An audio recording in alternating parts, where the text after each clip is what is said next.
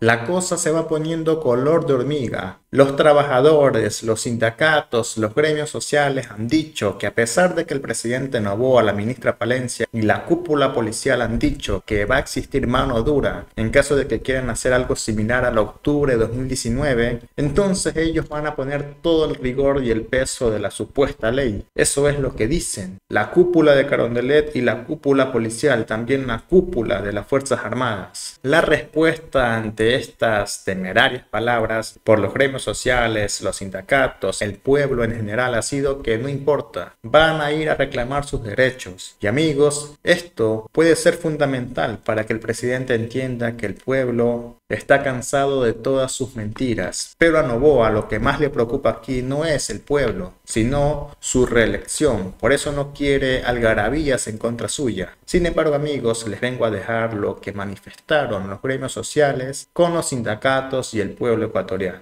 Escuchemos.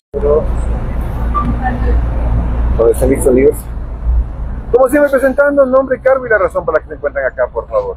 Edwin Bedoya, presidente nacional de la CEDOCUD. Primero agradecer a los medios de comunicación a esta convocatoria de rueda de prensa porque ya realmente los derechos de los trabajadores no solo que están siendo violentados, sino que están siendo enterrados. Vale parafrasear lo que decía Eduardo Galeano, que ya los derechos de los trabajadores va a ser un estudio para arqueólogos, porque realmente en el país y en a nivel nacional hemos recibido denuncias de despidos intempestivos de vistos buenos mañosos para sacar a los trabajadores sindicalizados. Se está violentando el derecho a libertad sindical, se está persiguiendo a dirigentes como es el caso del compañero David Almeida, los compañeros de Explosen, los compañeros de Arca Continental y anteayer se acaban de despedir a más de 21 trabajadores de Productos Paraíso y se empiezan a despedir a más trabajadores. En este momento se están empezando incluso a castigar al estilo de cuartel a trabajadores que llegan atrasados de la empresa Arca Continental. A pesar de ayer, en una reunión con el inspector y Arca Continental, quedamos que ya no iba a haber represalias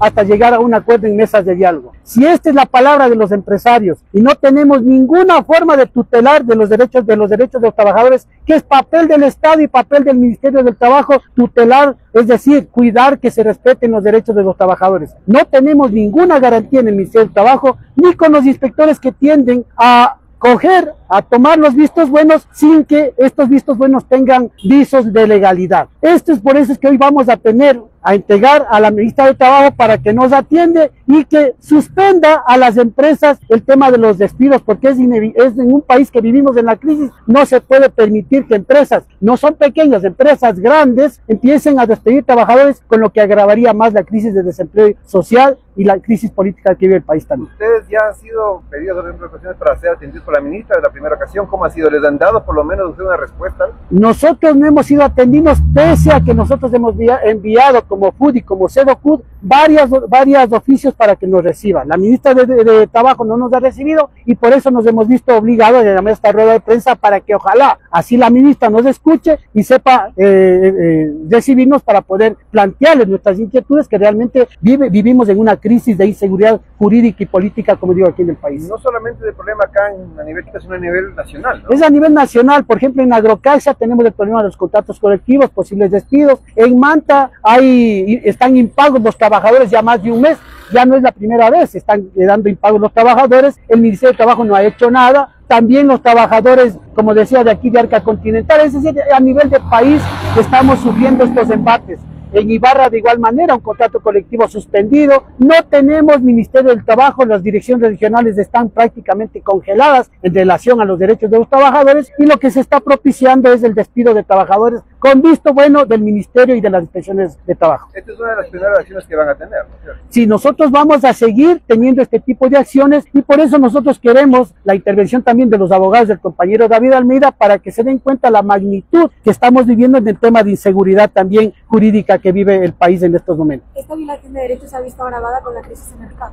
Bueno, eh, la estabilidad nos dicen que es una, un producto para poder despedir trabajadores, pero jamás hubo una mesa de diálogo para poder propiciar las demandas que nosotros y los planteamientos que, que nosotros lo hacemos. ¿Qué hemos dicho a la ministra de Trabajo? Que se suspendan los despidos. Ya les ya emitieron una ley económica urgente, ya les están condonado, condonando deudas e intereses a los empresarios y por tanto, por lo menos eso debería aplacar a que las grandes empresas no despidan trabajadores. Pero contrario a eso, las empresas siguen despidiendo trabajadores. Entonces, ¿dónde está el, el, alivio económico que reciben las empresas versus a los despidos que se están haciendo. Eso es ilógico, es contradictorio. Entonces, por eso es que nosotros estamos reclamando que haya seguridad jurídica para eh, vigilar los derechos de los trabajadores. Con respecto a lo que va a ser esta marcha en la tarde y que el gobierno ya mandó una advertencia de que no pueden pasar el histórico, ¿cómo lo van ustedes como CEDOCUD?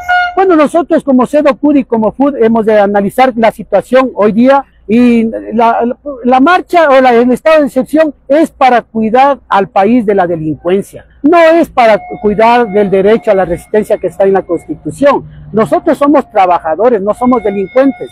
Si el estado de excepción fuera para dar un golpe duro a la delincuencia, están en los barrios, están los que venden droga y ahí está, y la policía lo sabe, entonces que vengan a atacarlos a estos delincuentes, pero no se concentren para poder reprimir o cerrar el centro histórico para evitar una marcha pacífica que es, eh, es justa y es legal. Son medidas porque el gobierno está con miedo. A mí me parece que está calculando políticamente y electoralmente porque está, ahí tenemos un candidato presidente y estas medidas demagógicas, estas medidas, estas medidas piensa que él le van a favorecer y contrario a eso está bajando la credibilidad del gobierno. Eh, también quisiera pedirles a los abogados para que nos expliquen el caso de David Almita, por favor. ¿Ya hablamos ahora? bueno, pues que hacer un poquito más de Eso es, gracias, los. Vamos, adelante. Bueno, nosotros como defensa técnica, Washington Andrade, eh, parte del equipo jurídico de la defensa de eh, la. Bueno, los trabajadores y trabajadores nos estamos uniendo para exigir al Ministerio de Trabajo que garantice los derechos de toda la clase trabajadora. Nosotros estamos viendo que el Ministerio de Trabajo está sirviendo como herramienta de persecución a los dirigentes sindicales, como es el caso de David Almeida.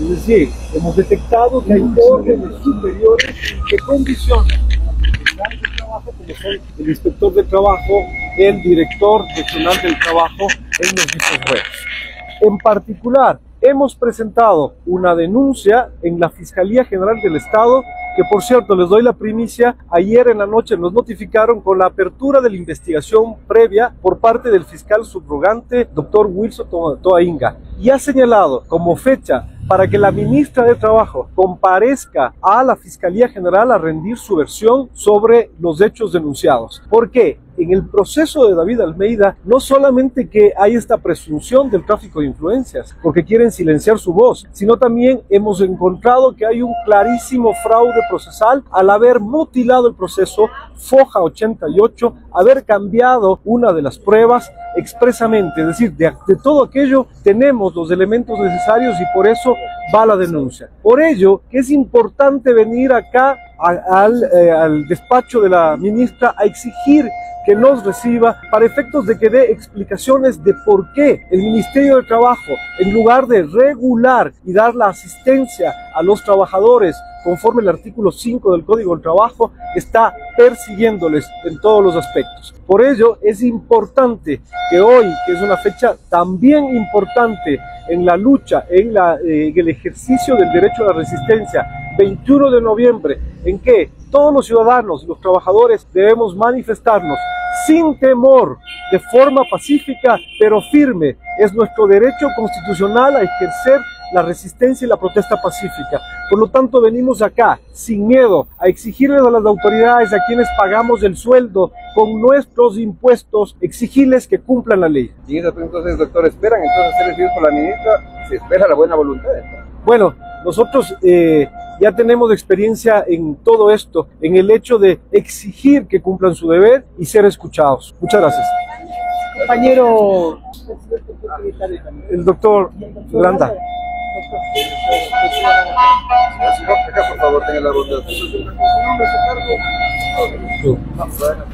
Muchas gracias, les llevo su micrófono. abogado de vida en este proceso y abogado de, desde hace algún tiempo. Bueno, nosotros lo que está diciendo, lo que están diciendo los compañeros del doctor Andrade y que está diciendo Edwin Badoya, es que estamos reclamando los procedimientos con los que se está manejando los vistobuenos en el Ministerio del Trabajo. Hay una violación evidente, palmaria, del debido proceso. Al momento de iniciar el visto bueno, debían contar con un procedimiento interno que se llama Comité Obrero Patronal. David no fue notificado de que se le iba a hacer un comité obrero patronal, no fue permitido de dependerse en el comité obrero patronal. Luego llegamos a la investigación de visto bueno y este defensor, yo, Fernando Gándara, defensor de David Almeida, no soy notificado con la fecha de la diligencia. Acudo a la reinstalación por la información que me da el doctor Andrade, no porque fui notificado en mi casillero o en mi correo electrónico. Trataron de limitar los derechos a la defensa de David e inmediatamente vemos cómo se trabaja la prueba adentro de la inspección del trabajo. Una versión libre que ellos graban, que no tiene la pureza de la muestra, que no sacaron de lo que dicen que fue una entrevista de David Almeida, es la prueba que le sirve al señor Rengel para condenar a David Almeida a la máxima sanción que tiene el Código del Trabajo, es el visto bueno. Aparte de eso, tenemos evidencia, y a esto se refirió ya el doctor Andrade, estamos investigando en la vía penal ante Fiscalía cómo influenciaron en el doctor Rengel. Estamos solicitando, porque ya tenemos esa información, que a través de Fiscalía se demuestre las llamadas que tuvieron entre el señor inspector del trabajo y los abogados de Petroecuador. Eso está evidenciado. Y vamos a ver que no actúan con independencia. Si no tienen pantalones para ser inspectores del trabajo, renuncien, pero no le causen daño a los trabajadores. El Ministerio del Trabajo, como dijo el compañero Washington Andrade, es para defender a los trabajadores no es un instrumento para violentar los derechos de los trabajadores, sino volvemos a la barbarie, compañeros. Para la persecución, así es. Muchas gracias.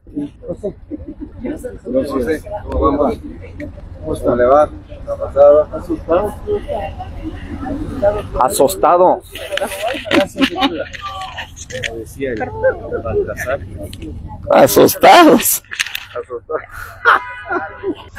Ahí,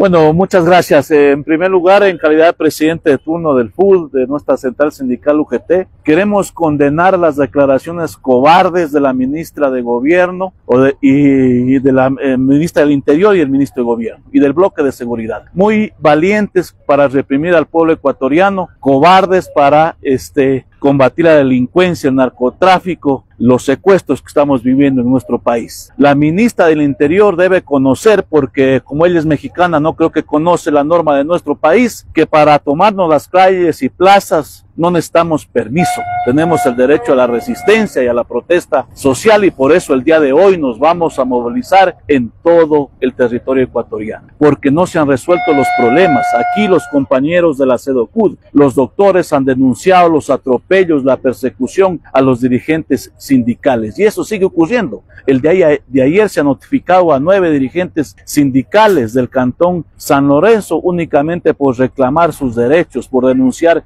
los atropellos y no hay ministerio quien tutele los derechos y frente a eso obviamente no podemos callar todo lo que está pasando. Eso quiere decir que hoy la marcha está totalmente confirmada y avanzarán. Nosotros vamos a hacer uso del derecho a la resistencia y la protesta social y si ratificamos la convocatoria a todo el pueblo ecuatoriano y nos vamos a movilizar en todo el país. José, se va a mostrar el trayecto de la movilización ya que ya está previsto el cierre en la patria y en, y en la Recoleta. No, nosotros vamos a concentrar en la caja de Líes, vamos a ir por la 10 de agosto, eh, por la Guayaquil hasta llegar a la Plaza eh, Santo Domingo. Lo otro no nos preocupa, siempre ha estado este, cerrado la presidencia, hoy está el Consejo Nacional Electoral, el contencioso, el nuevo Ecuador es eso, este, cerrado de mallas porque no hay quien atienda a las necesidades del país. ¿Por qué es actúa así del gobierno de y amenazar con ese tipo de cierres? A ver, primero hay un gobierno prepotente, un gobierno con tintes dictatorial Si ustedes ven las declaraciones de la ministra del Interior y del ministro, este es uh, al puro estilo de un gobierno prepotente dictatorial. Y entonces deberían los militares y la policía estar cuidando la soberanía, las fronteras, porque ahí sale y ingresa el narcotráfico, estar combatiendo la delincuencia, el narcotráfico, los secuestros, porque a diario vemos. Es terrible lo que pasó, por ejemplo, en eh, la ciudad de Quevedo el día de ayer, secuestrar a una dueña de una gasolinera y dejar a los, sus hijos abandonados. Ahí debe estar el gobierno. Y entonces hoy se nos califica que estamos intentando la vida. No, no, el gobierno atenta la vida porque no garantiza educación, salud, empleo, seguridad jurídica. Entonces, frente a eso, este, es, evidente que hay un gobierno dictatorial, hay un gobierno prepotente y por eso hace sus anuncios. ¿Qué esperan conseguir con esta marcha? Bueno, que esperamos que este, el gobierno rectifique. No podemos eh, seguir permitiendo que se sigan eh, habiendo despidos, que el, tema económico eh, sea o se busque resolver metiéndole la mano al Instituto Ecuatoriano de Seguridad Social, que no paguen este, las moras patronales, que no paguen los aportes, que este, se ejecute el seguro de desempleo. ¿Y quién paga el seguro de desempleo? Los afiliados, 25 mil trabajadores están haciéndose uso de esto porque han sido despedidos este último mes. Entonces, este, no puede seguir el pueblo ecuatoriano, los trabajadores, este, pagar las consecuencias de un gobierno irresponsable, incapaz de gobernar. ¿Puede decir su nombre y su José Villavicencio, presidente nacional del FUI, presidente de la UGT. Gracias, gracias a ustedes. Y no están asustados, nos y más de alguno dirá, bueno, pero alguno de ellos apoyó a la derecha anteriormente. Sí, amigos. Y no aprenden, amigos, algunos de ellos. Pero en este momento creo que ya han tocado a fondo, ya han caído, ya no siguen cayendo, ya tocaron fondo. Y esto es, amigos, lo que está pasando en este momento. Más tarde habrán más actualizaciones, así que lo invito a estar suscrito y recuerde que también puede ser un fan destacado en el botón que dice unirse. De esta manera su nombre será resaltado en toda esta comunidad. Un cordial saludo y nos vemos más tarde.